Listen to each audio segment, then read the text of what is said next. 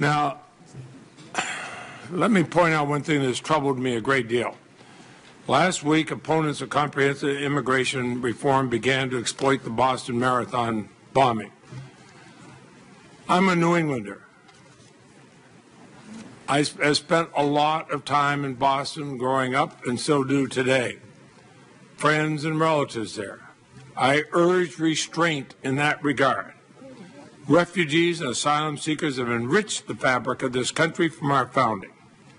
In Vermont, we welcome as neighbors Bhutanese, Burmese, Somalis, just as other states have welcomed immigrants to America for refuge and opportunity, whether it's the Hmong in Minnesota, Vietnamese Americans in California, Virginia, and Texas, Cuban Americans in Florida, and New Jersey, or Iraqis in Utah. Our history is full of these stories of salvation. Let no one be so cruel as to try to use the heinous acts of these two young men last week to derail the dreams and futures of millions of hard-working people. The bill before us would serve to strengthen our national security by allowing us to focus our border security and enforcement efforts against those who do us harm. But a nation as strong as ours can welcome the oppressed and persecuted without making compromise on our security.